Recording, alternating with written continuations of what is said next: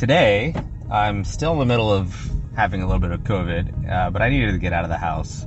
So I sound a little congested, a little nasal, getting a little restless. So what I wanted to do today was wanted to cover five things I love about the EV6 and five things I dislike about the EV6. And I figured I'd do it while I'm driving because that's where most of the character of this car comes out.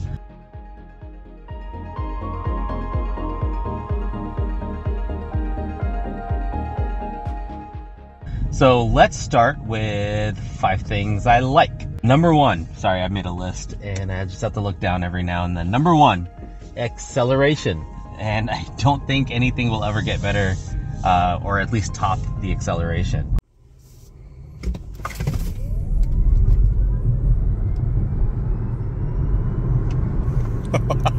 so much fun. In sport mode, this thing is still a blast. Is it a plaid? No.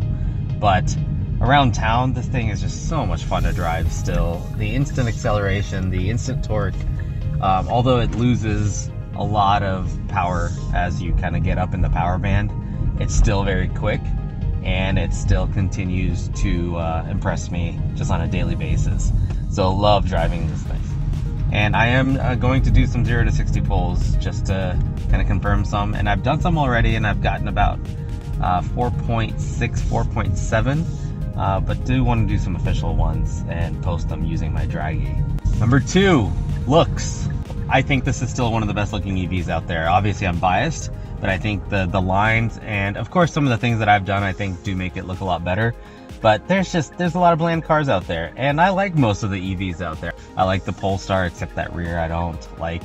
And I do like Teslas for the most part, but there's just too many and too common. But either way, I think this car definitely stands out. This and the Ioniq 5 both stand out very, very dramatically in a crowd.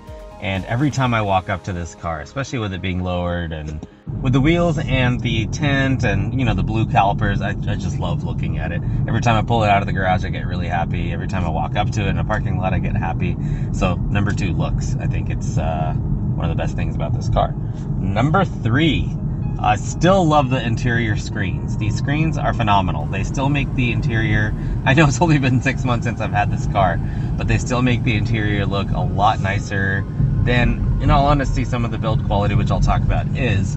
But these screens are phenomenal. And I know they're implementing this into a lot of the new Kias, so a lot of people will get to enjoy these, even on non EVs but it is a really good design. And I still think they're very informative, they're well laid out, and they show the right amount of information. It's not overload, it's not super customizable, but it does the job, and it looks very uniform and clean. All right, number four already, okay. Charging speeds, yes. So I've done a few trips, not too many road trips since I bought the car originally, but I love the charging speeds. I love being able to pull up to a 350 kilowatt charger and just go to town. And I just recently did a trip to Houston. If you haven't seen that video, uh, I went and saw M&S uh, for some custom parts. But anyway, uh, recently did that road trip and I stopped once or twice on both ways from Dallas to Houston. And the charging was so awesome. It was 18 minutes, 15 minutes for the most part. And I was up to 80%, over 80% in some cases. And it was just so good. And I love it. I love being able to pull up to a 350 charger. Now that can get annoying, especially if there's a non 350 capable car parked in a 350 because charging etiquette's just not there yet. There's a car there. I hope they're not taking the 350. Oh, sorry, lady. I'm taking it. Number five, uniqueness. I already talked about the looks, and this car obviously does look very unique. But overall, you still don't see a lot of these in the market. And I still, even when I see one, I turn my head. And even with the stock 19s, which I'm not a fan of, I still think it just stands out. Like you can take this anywhere and it just stands out. People still look. And I know some people don't like attention cars, but I'm sorry, if you're buying an EV6, you're going to get a little bit of attention. It's just a very unique design and a very unique car that people just don't expect. And when it first came out, I really expected this to kind of take the market by storm. I know there's supply chain issues, but for the most part, this car still is a little rare. Uh, I don't want to say rare, but it still stands out. It's a little unique. It's still not that well known. It might be well known among the EV crowd, but the general public still isn't fully aware of what this car is. All right, so two bonus things that I like that I thought about as I was leaving to film this video.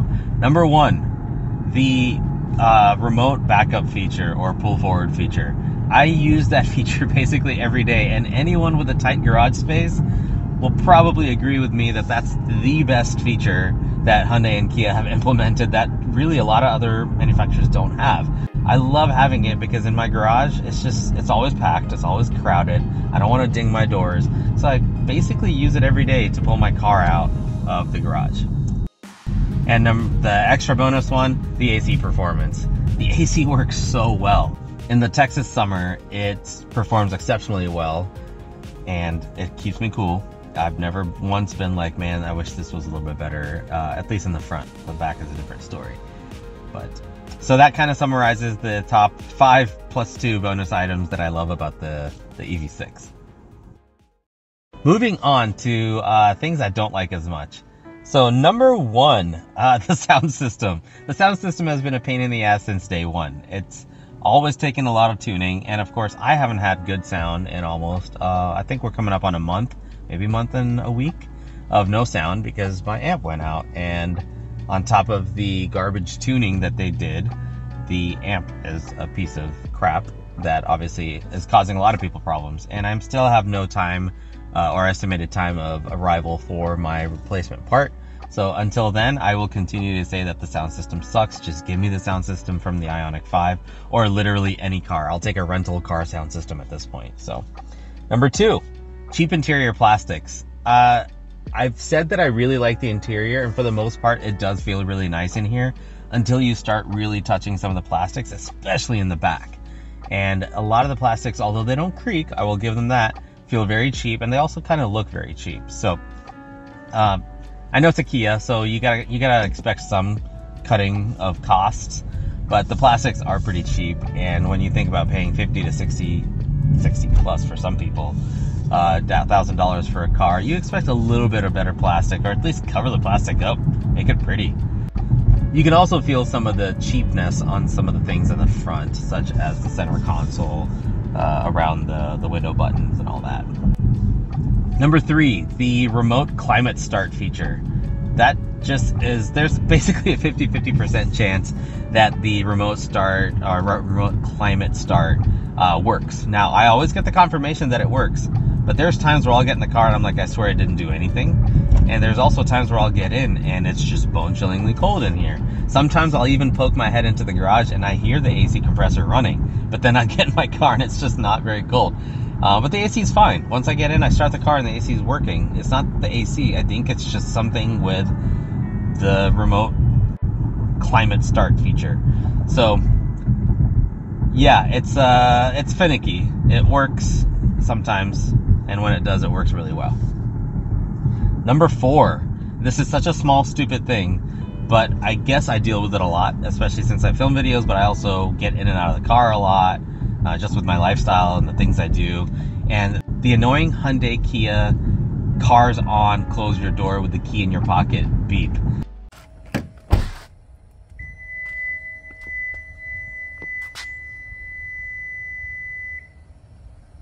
The long annoying high pitched kind of tone that plays every time you walk out of the car with your keys and close the door.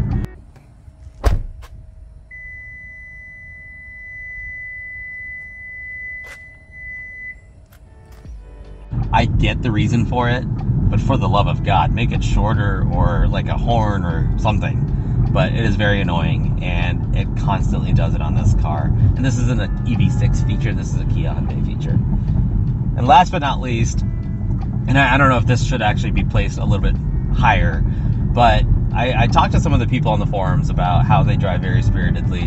What I found in my six months of ownership is I actually kind of baby this car. And I baby this car because I don't feel comfortable with breaking anything because I don't have confidence in getting parts or the right shop to work on it. I've heard horror stories about people being out of this car for weeks, uh, if not even months in some situations.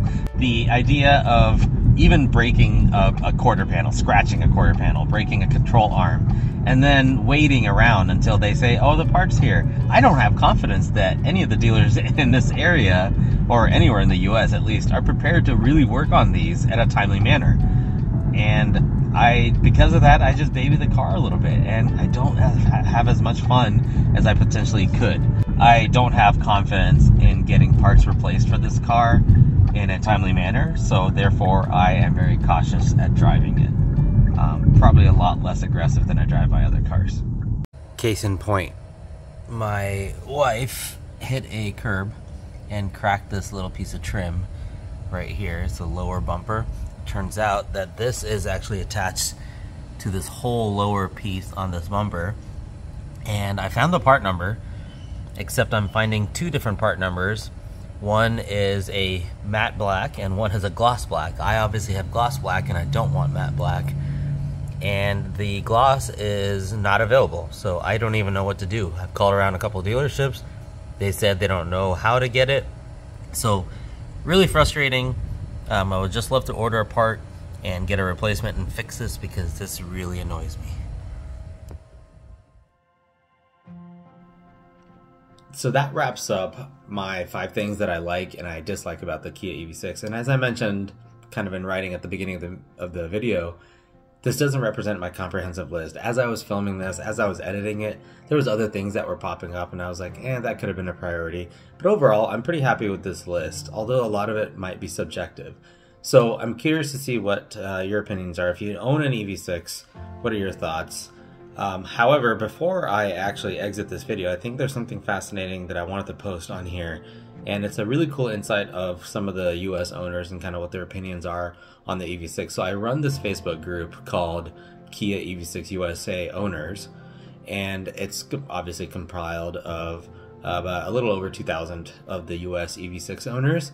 And in this video, in the on the forums, I actually asked them to name one thing that they dislike and one thing that they like. A couple people give some multiple uh, options, but I counted them anyway. But I want to pull these charts up because it's really interesting to see the kind of the mix between what people actually like and dislike. So it's not just my opinion, you're hearing it from, I would say, probably about 50 respondents on this. So it's a very small part of the group that actually owns an EV6 but I also think it's it's just a cool little point of feedback on what people may like or may not like about the EV6. So I'm going to pop these results up, read them, uh, take them for what it's worth, and I'd love to kind of discuss this in the comments. So if you have any questions or comments, or if you disagree with me, agree with me, whatever, uh, feel free to leave it leave it, uh, leave it down below. Thank you for watching, um, and uh, I am working on a six month ownership update, a little bit more comprehensive than here's five things I like and five things I don't like. I'll talk a little bit more about just the daily ownership perspective, kind of how the car is working, and uh, what I've learned about EV ownership in the last six months. And if you're still debating on getting an EV6, I'll kind of talk about whether I recommend getting one or not. Thank you for watching and stay tuned and please subscribe if you don't because it really does help. I'm very close to 1,000 subscribers and that would really, really help the channel. So thanks and have a good one.